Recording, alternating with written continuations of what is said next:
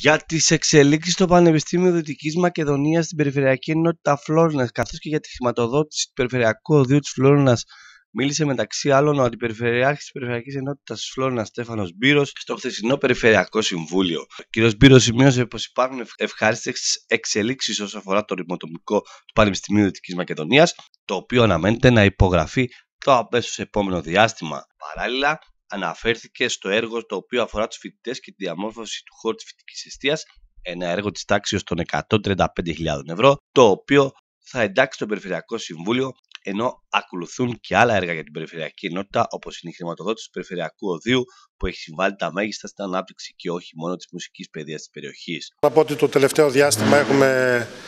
ευχάριστες εξελίξεις όσον αφορά το Πανεπιστήμιο Δυτικής Μακεδονίας, που έχει η Περιφερειακή Ενότητα Φλόρινας και πιστεύω ότι τόσο το ρητομικό που με τις παρεμβάσεις του κυρίου Περιφερειάρχη αλλά και δικές μας καταφέραμε επιτέλους να έχουμε το σχέδιο το οποίο πιστεύουμε ότι στις επόμενες μέρες θα το υπογράψει ο Πρόεδρος της Δημοκρατίας.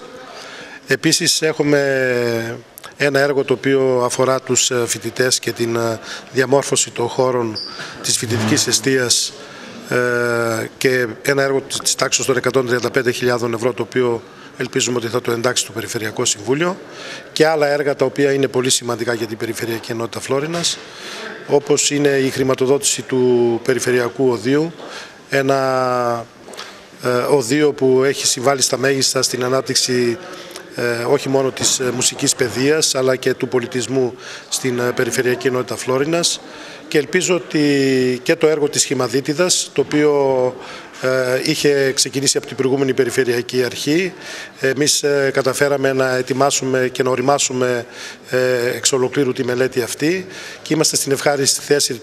να το εντάξουμε και να το εντάξουμε με ύψους περίπου 1.810.000 ευρώ που αφορούν αντιπλημμυρικά έργα στην ευρύτερη λεκάνη της Σχηματίτεδος και αυτό μας χαροποιεί ιδιαίτερα διότι βλέπουμε ότι αρχίζουμε και υλοποιούμε τους στόχους που έχει βάλει η Περιφερειακή Ενότητα Φλόρινας ε, σε αυτή την περίοδο και ελπίζουμε ότι το επόμενο διάστημα τα μεγάλα έργα τα οποία είναι σε εξέλιξη και οι μελέτες τόσο από την Εγνατία αλλά και το Πανεπιστήμιο που θα ξεκινήσουν ε, το επόμενο διάστημα να είμαστε στην ευχάριστη θέση να ξεκινήσουν ε, σε αυτή την περίοδο και να ολοκληρωθούν ε, μέσα στο χρονοδιάγραμμα που θα προβλεφθούν.